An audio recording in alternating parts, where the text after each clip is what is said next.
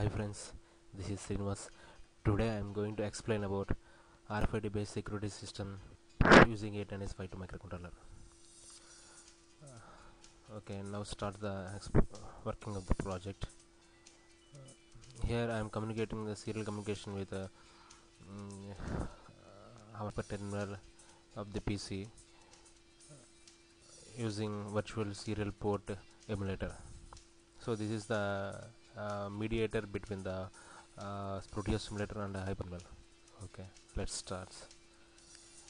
Uh, after uh, RFID space security system when we start the project it will display like that. Now it's asking place your card. Okay. I'm taking this card number. We place here your read number is so so and so access granted welcome person 2 so door is opening and close. Okay. If I place this one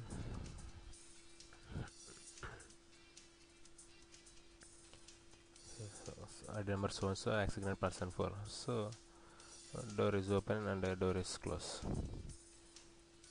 Here I take uh, 5 cards. So 1 2 3 4 so according to the number of the array it displays like that. Okay. If I give a if I give a wrong ID so let's see what happened this uh, wrong ID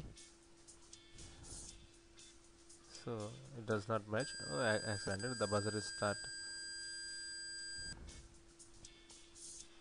Okay. So there is no opening of the door thank you friends. Thanks for watching